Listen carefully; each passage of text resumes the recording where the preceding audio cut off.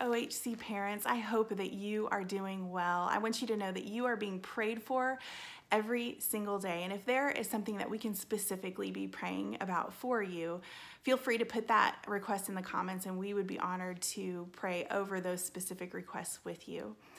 You know, you're probably, or maybe you have dealt with some worry or some, some anxiety over this time in quarantine. I know I have dealt with my fair share. Well, I want to take us back to a psalm. If you're in the psalm reading challenge with us, we've already read this, but I want to take us back to Psalm chapter 55 and verse 22. And chances are, even if you're not in the psalm reading challenge, you have heard this verse before. It says, Cast your cares on the Lord, and he will sustain you. He will never let the righteous fall.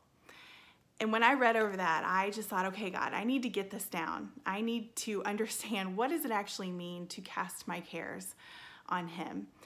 And I don't know about you, but I um, God teaches me a lot through my children, and He taught me this lesson of what it actually means just the other day on our way to Whataburger. My boys were in the back seat, and it turns out one of my boys got really worried that I was going to hit some deer that were way off in the distance. And it just, I just didn't understand why he was so worried because like I said, they were so far away.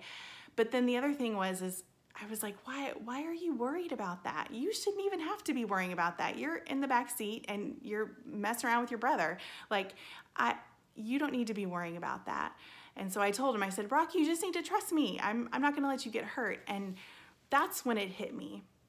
My heart for my son to cast that worry on me and just trust me that I am going to protect him is the same heart that I believe God has in this scripture.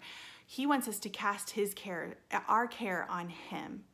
Not, not to worry and not to not to be full of anxiety, but to cast our care on him.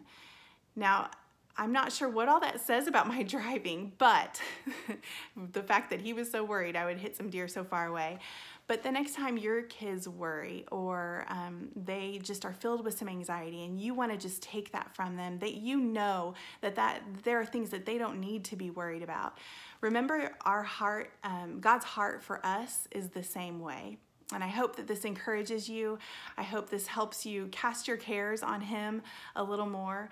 Um, and like I said, we are praying for you and uh, we're looking forward to when we can meet again. Have a great day.